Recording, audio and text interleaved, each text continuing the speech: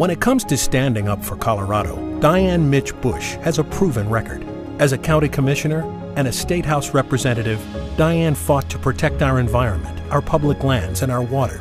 She championed public education and affordable quality health care for all. Diane Mitsch Bush, Democrat, for Congress.